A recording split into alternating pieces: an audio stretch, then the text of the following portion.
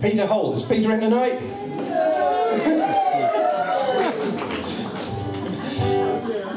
it's called the uh, Ballad of the Lawnmower Man.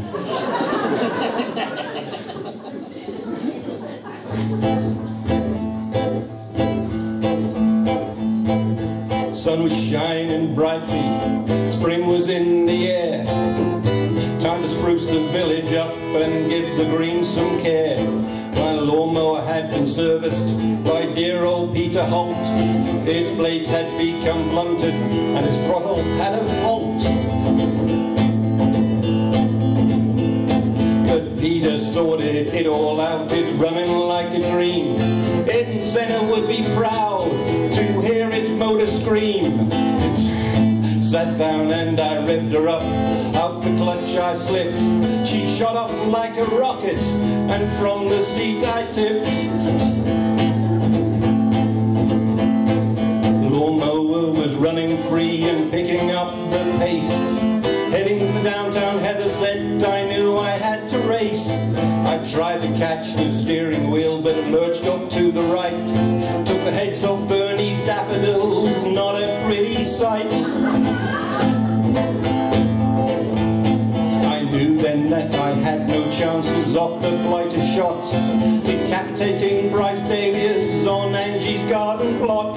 Like a madman in hot pursuit, I flailed my arms and shouted. It trimmed the grasses as it went and anything that sprouted. Roses pruned though not yet time and just a little short. Left of the veggie patch, I was getting fraught.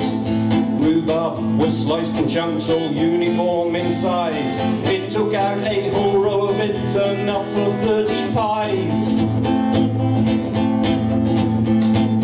Pies for breakfast, pies for tea, pies for everyone but me.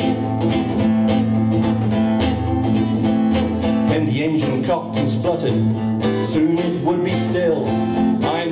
Up to my despair and started down a hill.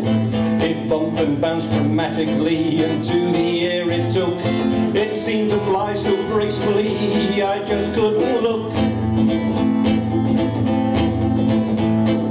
Bang crash wallop into a car, it sailed quite some style. It's behind you, I had shouted, but Duncan and Jenny didn't smile. At court I tried to deflect the blame, it wasn't all my fault. It wasn't me who souped her up, but dear old Peter Hoult.